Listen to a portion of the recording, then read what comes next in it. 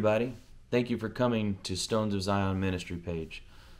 This video is going to detail, as a separate testimony, a vision that I had, an open vision and angel visitation that I had when I was 19. This was the the first angel visitation I had ever had that I was aware of. I think I think the Lord sends angels all the time.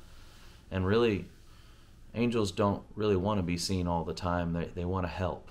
They want to do what the Lord says. So don't get too obsessed with angels, guys. They're they're here for a purpose and they accomplish the purpose and then they get out. They're, and they bring glory to God the entire time. They convey messages. Um, but you need Jesus. Angels are a byproduct of your relationship with the King of the kingdom of heaven. Um, so, anyways, that's just a quick point for you. This video details a vision that I shared in the Stones of Zion formation page. This happened to me shortly after I was baptized in the Holy Spirit, and it happened to me right around the time that I was really hardly pressing into God for what my purpose was in this world. After He had baptized me in the Holy Spirit, and I had the ability to bring forth the gifts of the Spirit and baptize people in the Holy Spirit, and just I was working in the gifts, and uh, I was just like, God, what, what have you given me, and what do you want me to do? You obviously want me to do something. So I have this angel visitation, and I was laying in bed, and I was relaxed, and all of a sudden I go into, it's like I was in the room, but I was in the spirit world in the room, open vision. And an angel was in the room with me. And he looked exactly like the angel that I described in my heaven testimony that said it wasn't my time to see heaven yet, but my prayer would be answered in the future. That that angel, he, he looked exactly the same. Um, and he stood there and he handed me a scroll. He handed he held it out.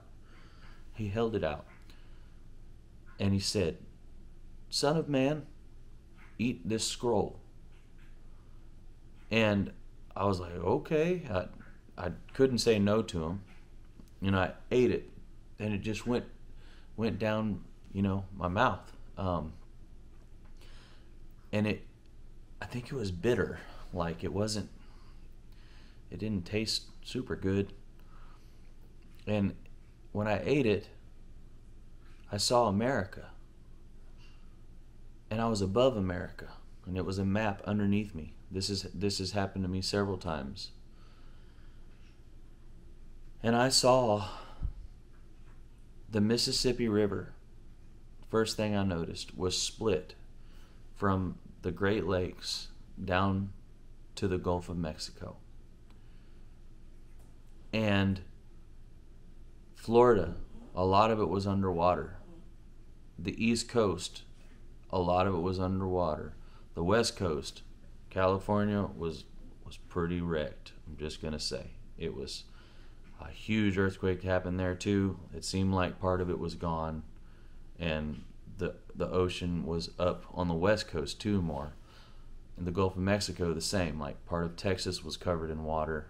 It the the coastlines had moved in.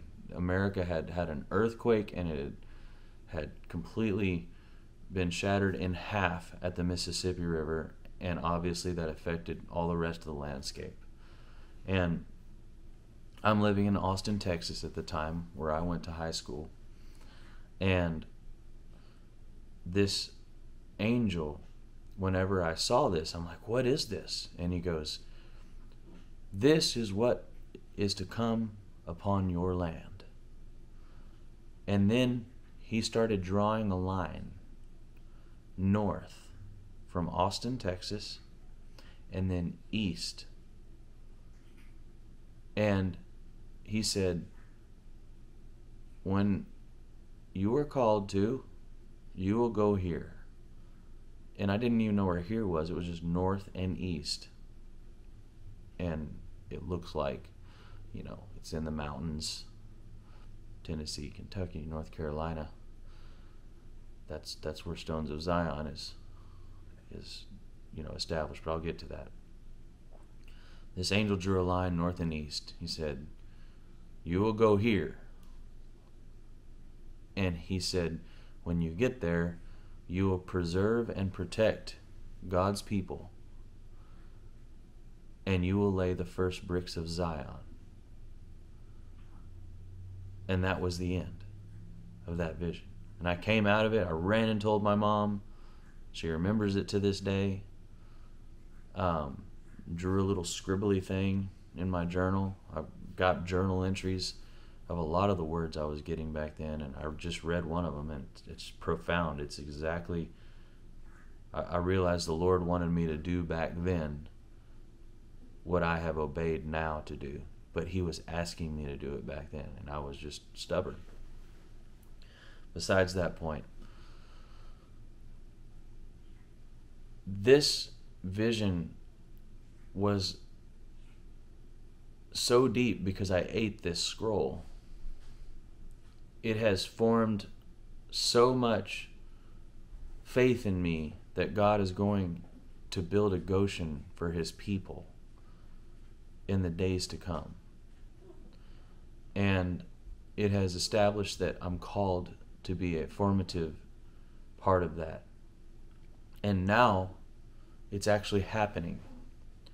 And I want to tell you that I am humbled before the Lord because that promise He made to me so long ago, I never forgot it. I, have been telling people about this for so many years. It's unreal.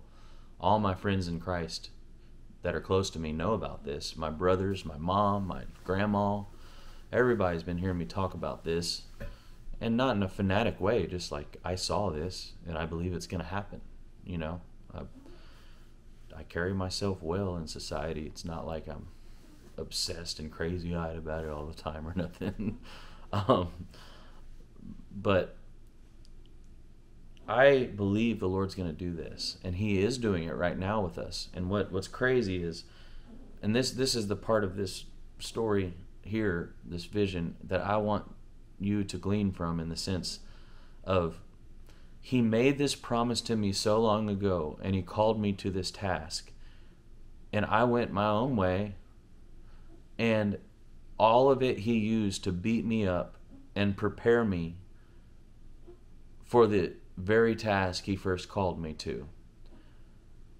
And I want to testify of His grace in that.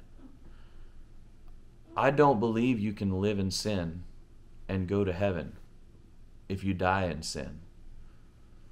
So I don't think that if I if I would have put it this way, if I would have died unrepentant in the lifestyle I was living like, you know, five, six, seven, eight years ago, in the past the past several years I've really you know, God has cleaned my life up and I've repented. But if I would have if I would have uh, died in that, I don't believe that I would have stood much of a chance before a righteous God. But I want to testify that because He called me and because of His grace, that He knew I was going to be rebellious for a season, because He knew I was going to be a stubborn and I had a lot of humbling to come and I had a lot of dying to do. He wanted to kill everything in me that would oppose what he called me to do.